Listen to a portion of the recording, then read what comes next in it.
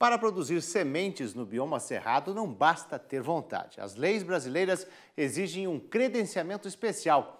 Como conseguir? Vamos mostrar agora.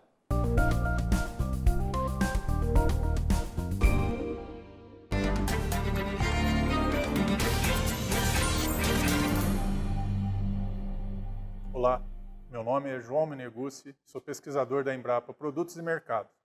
Nessa aula, vamos abordar o tópico produção de sementes.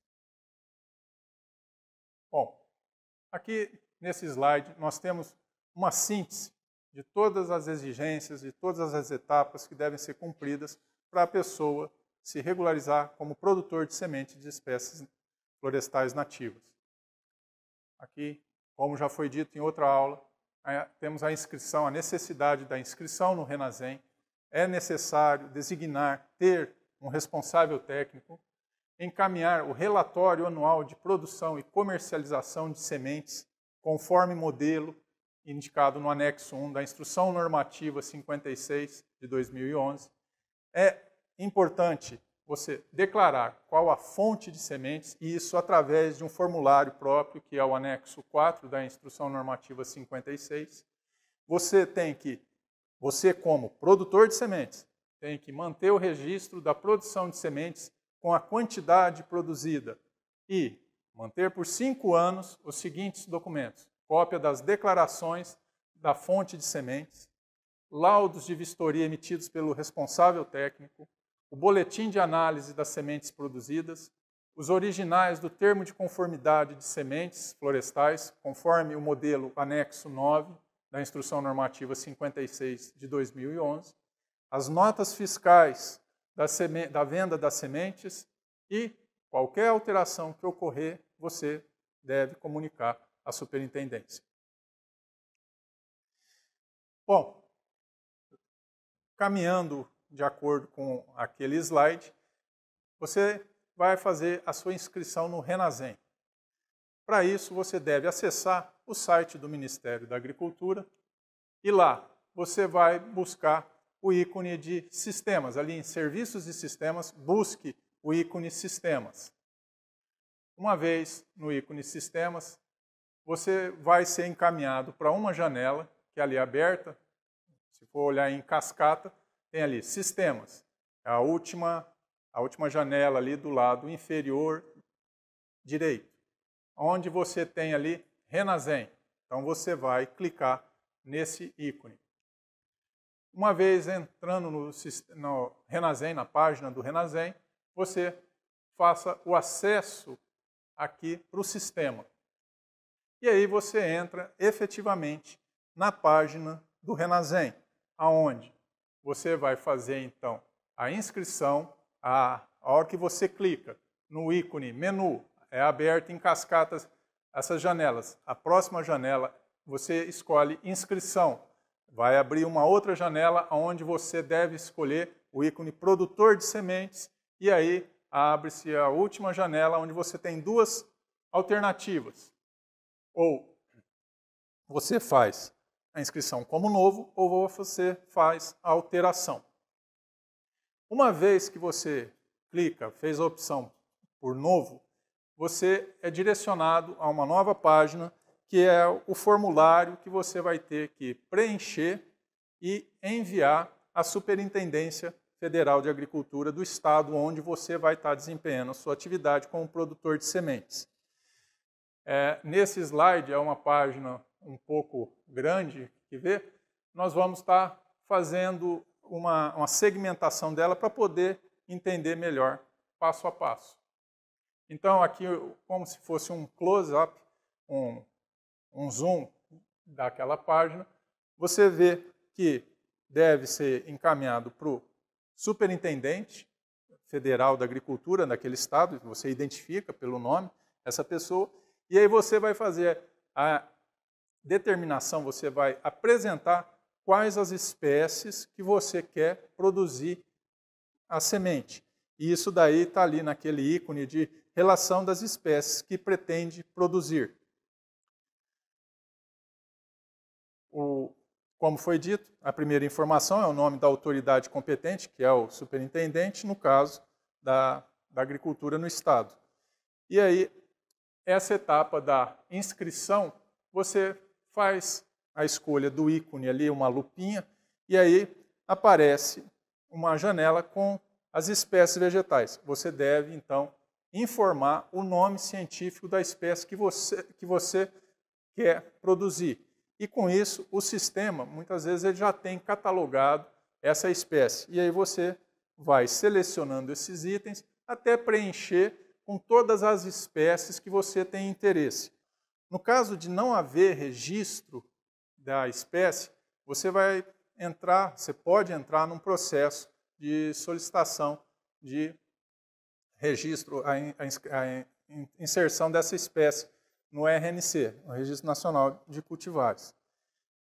Esse é, é um processo um pouco mais complexo. Ele, você tem formulário específico lá para fazer a inscrição da nova cultivar no Registro Nacional de Cultivares. E aí você vai preenchendo essa documentação exigida pelo Ministério da Agricultura, Pecuária e Abastecimento. O requerente deve preencher esse formulário específico. Nós aqui nós não vamos nos ater a, a esse processo aqui. Vamos dar prosseguimento no processo de inscrição no Renazem como produtor de sementes. Então, dando prosseguimento, nós temos ali que você faz a solicitação, se você quer ser a produtor, o, o seu responsável técnico, você tem que informar e informa o Renazender, e também tem a lista dos documentos anexos, que tem que ser atentado para isso, que ali nós estamos observando é comprovante de pagamento da taxa correspondente, que é um recolhimento, um guia de recolhimento da União, um valor de 150 reais. isso daí vai de estado para estado a qual que é o código que é usado, o valor é o mesmo. Você tem a cópia do contrato social registrado na junta comercial ou equivalente, quando pessoa jurídica. Você tem que enviar a cópia do CNPJ ou do CPF, a cópia da inscrição estadual ou equivalente, declaração do interessado que está adimplente junto ao Ministério da Agricultura, Pecuária e Abastecimento, a relação dos equipamentos, um memorial descritivo da infraestrutura, o contrato de prestação de serviço, de beneficiamento, armazenamento, quando forem realizados por terceiros, e finalmente o termo de compromisso firmado pelo responsável técnico, que vai estar ali assessorando.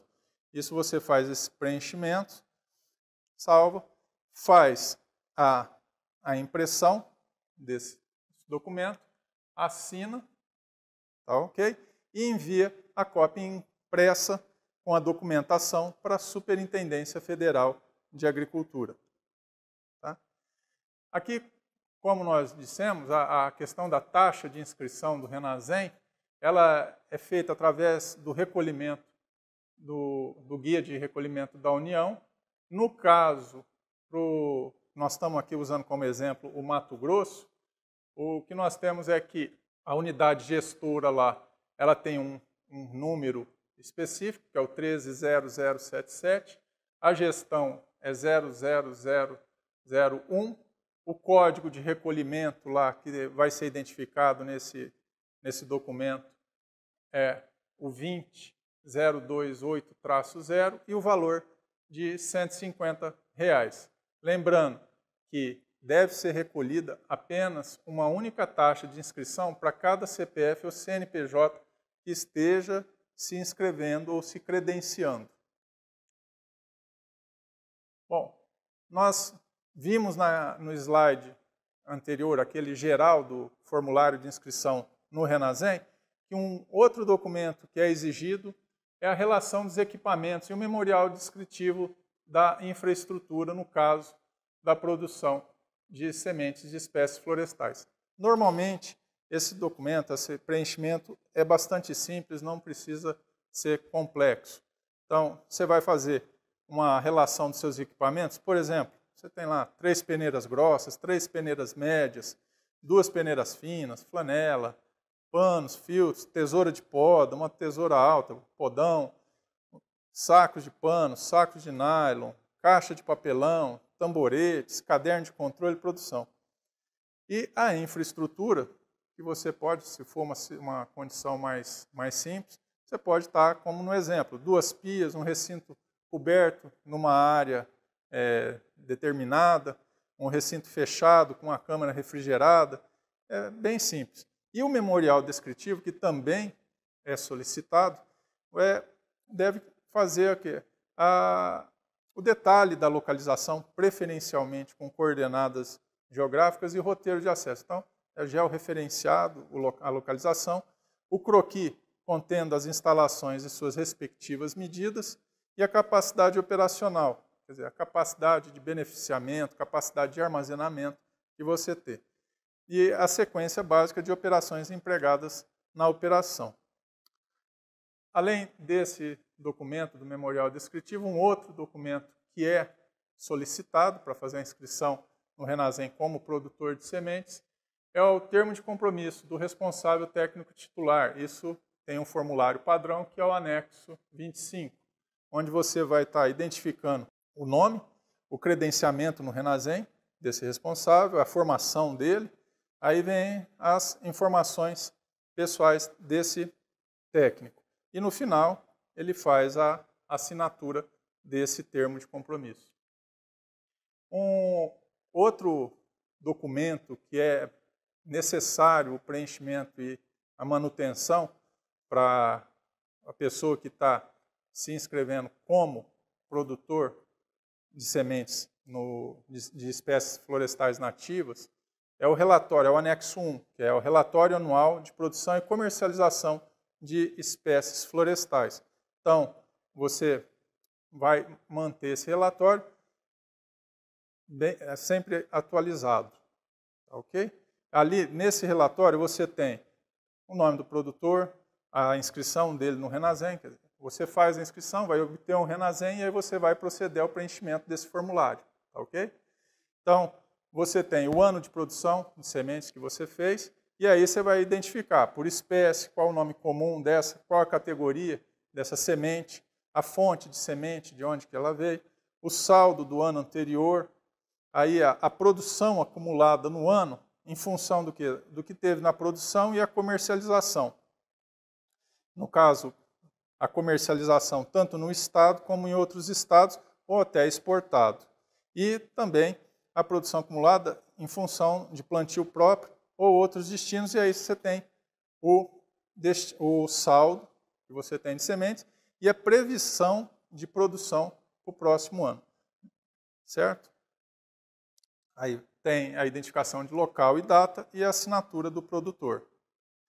Outro formulário que o produtor de, de sementes inscrito no, no Renazem ele deve ter sempre preenchido é a relação de fontes de semente. Então, você tem a identificação do produtor de sementes, a identificação do responsável técnico, então, todos eles identificados por nome, endereço, endereço eletrônico, inscrição no Renazem, CEP e telefone. E aí, você tem a declaração da fonte de sementes vai em função se é a sua fonte de sementes é uma área de coleta de sementes com pura e simples, ou se é uma área de matriz, você tem alguns modelos de área fonte para obtenção dessas sementes. No caso, um, um outro que tem é a área de coleta de sementes com matrizes selecionadas, e aí Nesses itens, um pouco, vai se repetir um pouco, você vai ter lá a identificação da área total, então quantos hectares tem, qual é o município que está localizado, as coordenadas georreferenciadas, latitude, longitude, a espécie, o nome comum dessa cultivar, o número, no caso, se for uma ACSMS, que é de matriz selecionada, você vai ter a identificação, o número dessa matriz na área de coleta, se ela é natural ou plantada, o critério de seleção e os meses prováveis quando vai fazer a coleta de semente nessa área.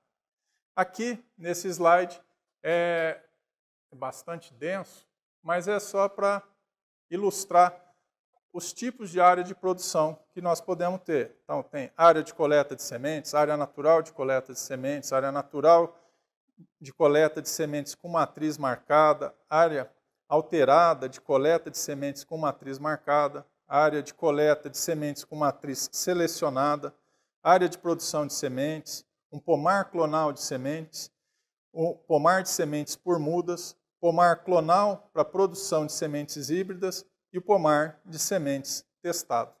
Quando a gente vai discorrendo nessa lista, pode perceber que vai aumentando o grau de complexidade da área de obtenção dessas sementes. Então, você parte de é, situações onde é mais fácil você já estabelecer a coleta desse material do que aquelas situações que estão no final da tabela. Além dessa classificação da área de obtenção das sementes, as sementes, elas, segundo o artigo 7 dessa instrução normativa, elas são, elas são categorizadas. Então, você pode ter semente identificada, semente selecionada, qualificada e testada. A identificada é aquela categoria de material de propagação de espécie florestal coletada a partir de matrizes com determinação botânica e localização na população, localização georreferenciada. Essa, essa categoria de semente, ela normalmente ela vai estar dentro de área de produção, de área de coleta de sementes, de matriz é, alterada, com matriz, como tem ali na, na coluna da direita. A selecionada é aquela categoria de material de propagação de espécie florestal coletado com matrizes com população selecionada para pelo menos uma característica em uma determinada condição ecológica. Pelo menos uma característica. A qualificada é aquela categoria de material de propagação de espécie florestal coletado de matrizes selecionadas em populações selecionadas e isoladas contra pólen externo e manejadas para a produção de sementes. Então, já é uma categoria de semente já mais trabalhada. E, finalmente, atestada, que é a categoria de material de propagação de espécie florestal, coletado de matriz selecionada geneticamente, com base em testes de progênie ou testes aprovados pela entidade certificadora ou pelo certificador para a região bioclimática especificada, em área isolada contra pólen externo. Bom, essa daqui é, é um slide só para dar um suporte ao slide anterior, onde tem lá as colunas. Se a pessoa, se você, durante a, a, a sua aula, tiver dúvida do que cada, cada coluna significa, ou a descrição mais detalhada de cada coluna, você pode estar acessando a esse slide. Ok? Além da, desses, desses anexos com relação à área de coleta de sementes, o, um outro anexo, um outro documento que é exigido para você ter a produção de sementes de espécies florestais é o termo de conformidade de semente florestal, onde você vai estar novamente identificando-se como produtor de semente, identificando o responsável técnico e atestando que os lotes de semente discriminados abaixo foram produzidos de acordo com as normas e padrões estabelecidos pelo mapa. Ok? Então você tem ali nas colunas qual espécie, nome comum, a categoria dessa semente, critério de seleção, tipo de isolamento, procedência, identificação do lote, que é um número seu, número de matriz que compõe o lote, se for o, o é, é facultativo esse daí, o peso total do lote, aí o boletim de análise com o número desse boletim, a data que ele foi emitido, o grau de pureza, germinação e validade do teste. Bom, esse próximo slide é só para a gente relembrar aquelas categorias de semente, porque você veja, novamente, num anexo que é exigido no modelo, está lá novamente uma coluna onde está lá identificado categoria. Então, só para relembrar que a categoria de sementes pode ser numa dessas, ou identificada, selecionada, qualificada ou testada. Ok? E é importante que, ao você ter esses lotes de semente, você tenha a identificação dessas suas sementes. Então, material coletado, ele deve estar identificado com o nome da espécie, a fonte de semente, data de coleta e o nome do produtor.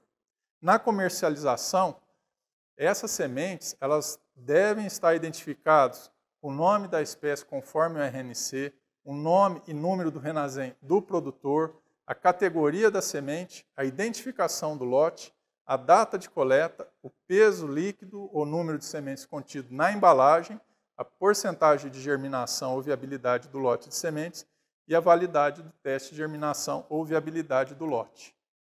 Ok?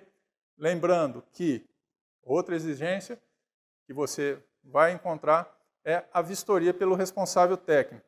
Ele deve emitir sempre que fizer a vistoria um laudo, conforme o anexo 12. E os objetivos dessa vistoria é para recomendar, quando necessário, técnicas silviculturais e procedimentos a serem adotados na fonte de sementes e durante a produção de sementes.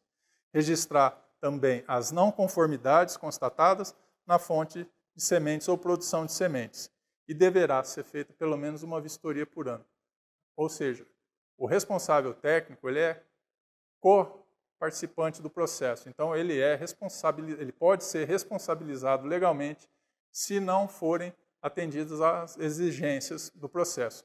E daí que ele deve sempre deixar registrado conformidades e não conformidades também. Ele não vai ter a situação de alegar que se esqueceu ou preferiu não colocar qualquer situação irregular.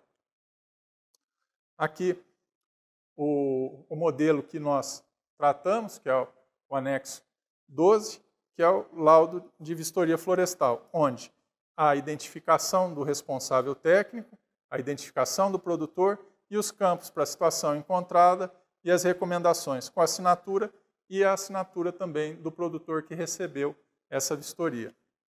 Nós temos agora conhecimento sobre o processo de produção de sementes de espécies florestais nativas, as exigências, os anexos, os requerimentos que devem ser preenchidos, os documentos solicitados e, dando prosseguimento, nós vamos abordar na próxima aula agora a produção de mudas de espécies florestais nativas.